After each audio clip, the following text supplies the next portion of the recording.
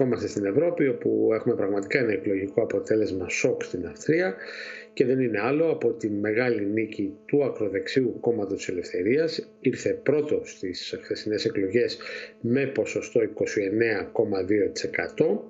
και δεύτερο το Λαϊκό Κόμμα το οποίο του σημερινού καγκελάριου του Καρλ Νεχάμερ, το οποίο παίρνει 26,48%. Συμμετοχή είχαμε σχεδόν 75%.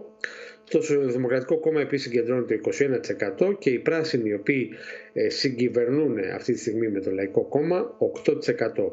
Ε, το κόμμα της Ελευθερίας φυσικά έρχεται να επιβεβαιώσει η νίκη του κόμματος Ελευθερίας αυτή την μεγάλη και θα έλεγα επικίνδυνη στροφή προς την ακροδεξιά στην Ευρώπη.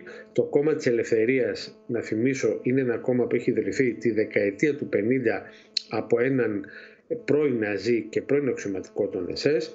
Και επίσης να θυμίσω ότι τη δεκαετία του 90 όταν ε, άρχισε τις πρώτες του θα λέγαμε εκλογικές επιτυχίες με την ηγεσία του Γκιόρκ Χάιντερ τότε είχε ξεσηκωθεί όλη η Ευρώπη αλλά σήμερα δυστυχώς η άνοδος της ακροδεξιάς είναι γεγονός και μάλιστα στις πιο στις χώρες που έχουν θα λέγαμε τη κουβαλάνε τις μεγαλύτερες αμαρτίες από το παρελθόν από αντίστοιχες εξελίξεις στη Γερμανία φυσικά και την Αυστρία.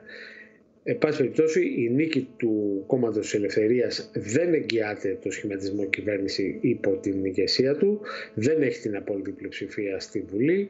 Θα πρέπει να συνεργαστεί με άλλα κόμματα και το μόνο πιθανό διαθέσιμο κόμμα για συνεργασία είναι το Δεξιό Λαϊκό Κόμμα. Έχουν ξανασυνεργαστεί στο παρελθόν, αλλά ήταν το Λαϊκό Κόμμα που είχε, θα λέγαμε, το πρώτο χέρι. Οι σοσιαλδημοκράτες αποκλείουν το ενδεχόμενο συνεργασίας και επίσης ακούγεται και ένα πιθανό σενάριο να υπάρξει μια τρικοματική κυβέρνηση Λαϊκού Κόμματος Σοσιαλδημοκρατών και του Φιλελεύθερου Κόμματος Νέος. Ε, πάση περιπτώσει, δυστυχώς, ε, μπαίνουμε σε δύσκολες και σκοτεινές μέρες στην, στην Ευρώπη.